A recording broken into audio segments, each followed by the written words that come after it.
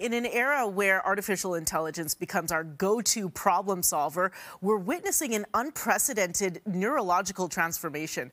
AI neuroscientist and TED speaker Sarah, Balde- Sarah Baldeo joins us this morning to uncover how using AI is literally changing the structure of your brain. Good morning, Sarah. Very interesting topic of conversation.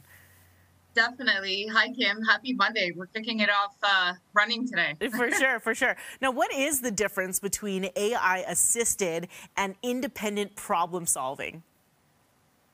So, think about when you were in school and you were trying to solve a math problem or you were doing research and you had a hypothesis. Normally, you know, back in my day, back in the 1900s, you go into a library, you do research, and sometimes some of that research wouldn't support your conclusion or your hypothesis.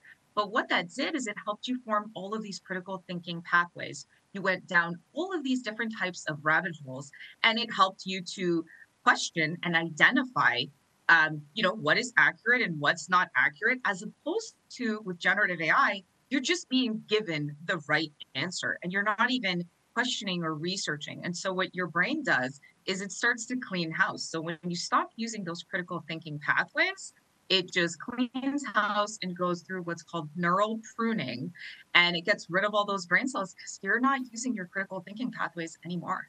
Interesting. Sarah, you've never made me feel so old when until you said back in my day in the 1900s. Oh, wow. Uh, using gener- generative AI tools, you know, it's a great time saver. But what happens to our problem solving abilities when we rely on it? So, you know, in the example that I, I just used, you're doing research and essentially I want you to think about what happens in your brain. So there's there's different parts of your brain right? The, the center part of your brain controls emotion and it controls instinct. The front part of your brain, right here, um, and I, I have my handy dandy model here, right at the front of your brain, this is the part of your brain that needs to be activated. And so when you type a question into ChatGPT, hey, tell me what the square root of pi is, it just gives you the answer. You don't actually have to do any work you don't actually have to access any of your memories from the past. And so that's the difference. When you're just sitting in a library and you're doing research, you're accessing your hippocampus, which is your memory center. You're accessing your frontal cortex, which is your critical thinking problems. You might be in high stress because you're trying to do research. You got adrenaline pumping. When you type it into ChatGPT, you just get an answer. And most of the time, you just accept it. So it's a vastly different neurological experience that you have with Gen AI versus real research. So, Sarah, is there a specific age group that mo- is most at risk regarding AI use?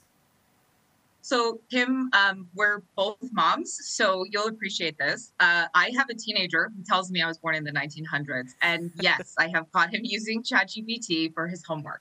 The problem is when children are born, that center part of their brain, that limbic system, which is right here in the center, that develops first because we need it for survival. The frontal cortex develops last and it's still developing as children age all the way through adolescence.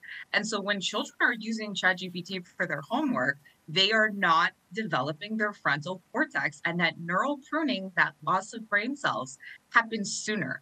So it's actually impacting these youngest populations, these children, because they're not developing that frontal prefrontal cortex because they never got the chance to because they're just relying on generative AI tools. So by no means am I suggesting we shouldn't be using AI tools. We just have to use them in the right way.